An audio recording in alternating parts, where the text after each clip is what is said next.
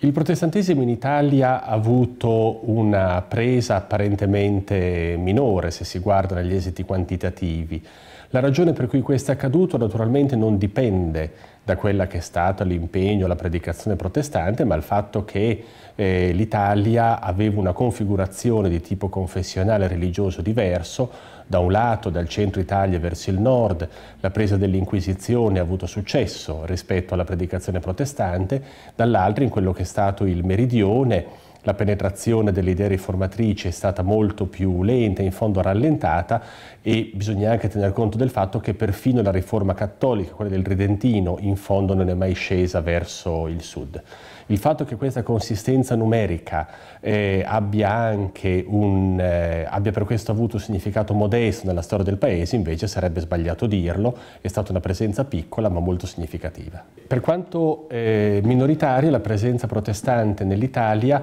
è stato un fattore estremamente significativo ed importante proprio perché nel costituirsi dell'unità nazionale ha rappresentato una minoranza organizzata, costituita, riconosciuta, eh, che ha significato per la maggioranza cattolica, per il papato, poi più in generale per lo Stato stesso, una grande sfida eh, con la quale misurarsi. Una sfida che ha saputo far valere la propria esistenza anche eh, in termini di prestigio. Il modo in cui il protestantesimo viene percepito in eh, Italia, a mio modo di vedere, non è in fondo molto dissimile dal modo in cui viene percepita la confessione maggioritaria, cioè quella romano-cattolica. Paradossalmente sembra oggi che le differenze di confessione di fede fra l'una e l'altra Chiesa siano molto meno rilevanti di quella che è la posizione delle diverse Chiese sulla scena politica e sulla scena della rappresentazione dei diritti, e più sulla differenza che le Chiese hanno in materia di laicità praticata, di produzione legislativa e di altro,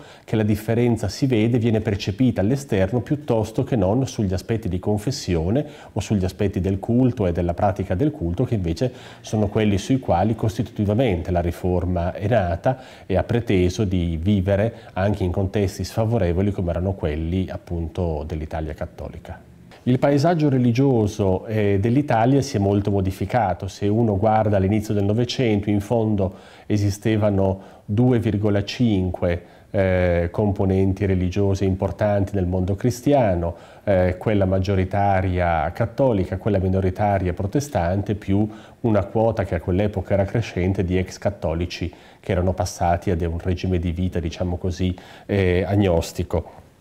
Oggi il paesaggio religioso è infinitamente più complicato, la presenza delle chiese ortodosse grazie all'immigrazione che prima era molto puntiforme sul territorio nazionale, oggi è diventata infinitamente più diffusa, ci sono parrocchie ovunque, la presenza della comunità ebraica che si era cercato di estirpare sotto il fascismo con le leggi razziali si è ripresentata con una sua vocalità e una sua eh, forza di presenza, la comunità islamica eh, che prima non, non, esisteva quasi per nulla in Italia, oggi è diventata una componente importante, ma più che tutte mi sembra quello che oggi rappresenta una sfida per la presenza del protestantesimo italiano e una grande tendenza verso una dimensione non confessionale ma spirituale che è quella del pentecostalismo, che riguarda sia la Chiesa cattolica sia la Chiesa protestante e che tende a far valere rispetto alla presenza delle Chiese stabilite, così come vengono dette, una forma di pratica religiosa molto più calda sul piano emotivo e molto più informe sul piano istituzionale.